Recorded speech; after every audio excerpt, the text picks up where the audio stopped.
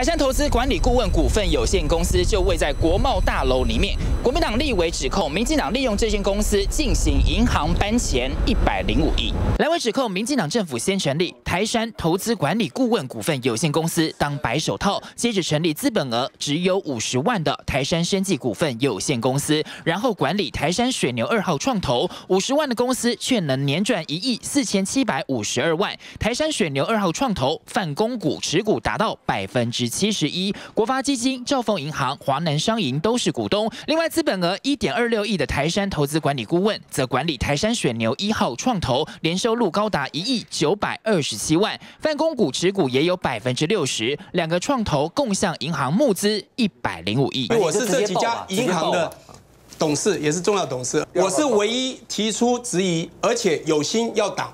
因为我看不到你投资标的的未来的时候，我只是担忧会落入私人口袋以及私人团队。被控搬走银行一百零五亿，台山表示一切合法，但阑尾戳破所谓的合法，是因为大开后门，还有搬钱三部曲，先后成立台山投资管理顾问以及台山生技股份有限公司，接着金管会放宽银行转投资创投，从百分之五放宽到百分之一百，然后向银行募资，以达到一百零五亿。这个董事长是谁呢？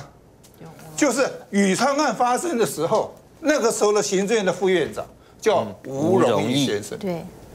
他对案子熟不熟悉？他对这个整个的整个的五鬼半道，他非常熟悉。台山董事长还是由独派色彩浓厚的吴荣义担任。蓝委将陆续要求公股银行负责人说明，为何投资相关创投，追人民纳税钱一百零五亿花费流向。记者董文旭李家远台北报道。